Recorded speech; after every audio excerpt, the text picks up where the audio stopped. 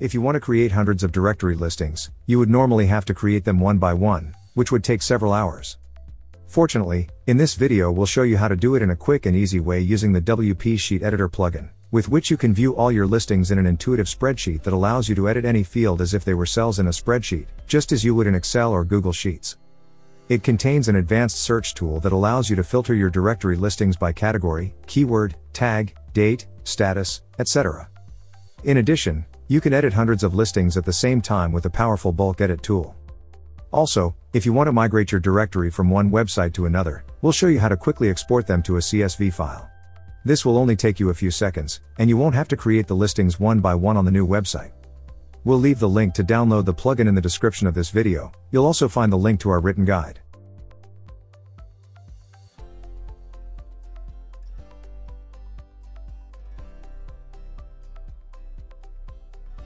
Once you install and activate the plugin, you'll need to configure the directory listing spreadsheet.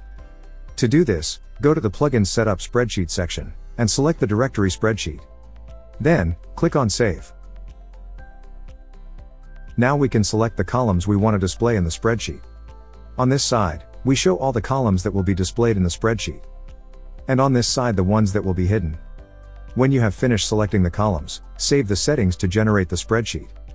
You'll now see all the items in your directories on the spreadsheet as rows and all their fields as columns.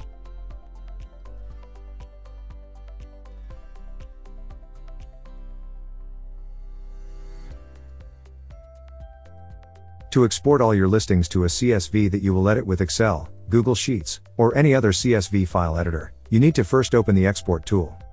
Here you can select the columns you want to export, but in this case, I'll select to export all active columns. We'll only export the rows from our current search. Optionally, select the app you'll use to edit the file. And export the CSV file.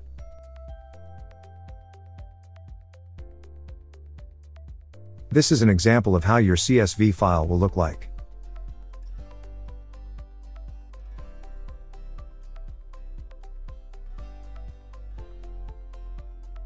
Once you've made changes or created new directory listings using a CSV file, you can quickly import them into your website.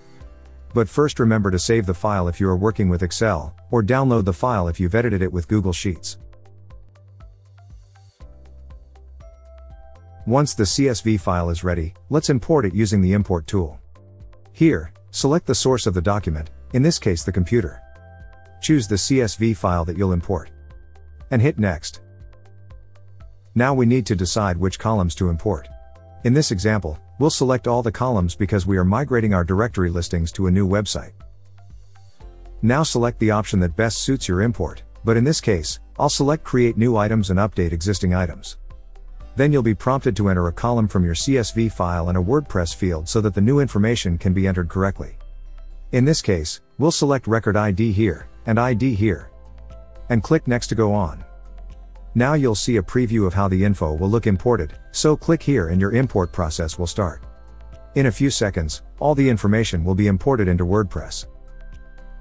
Whether you want to create new directory listings or update existing ones, get all your directory listings into a CSV file for offline backup, work offline, or migrate them to a new website, the WP Sheet Editor helps you do it quickly by exporting and importing them easily. Remember that you will find the link to download this plugin in the video description, as well as the link to review our written guide. We have live chat support on our website in case you need extra help. Don't forget to subscribe to our YouTube channel for more video tutorials.